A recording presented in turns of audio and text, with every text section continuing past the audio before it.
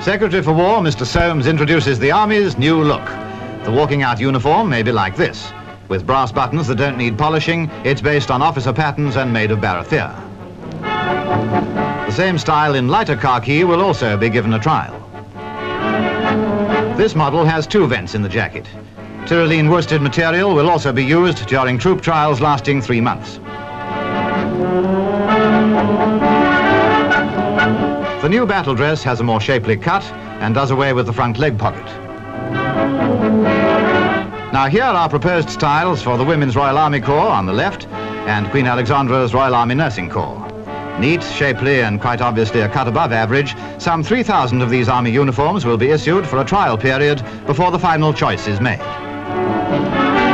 Wearing considerably less and sensibly so in such a climate, the troops in Jordan have been preparing to leave.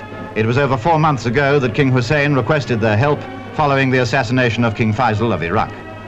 Since that troubled time, the situation has evened up, and it's quite certain that the return to reason and the restoration of order was largely due to the presence of British troops.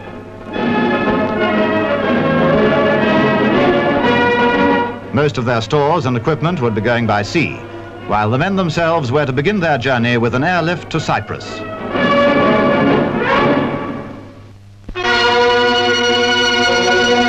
On passage from Swat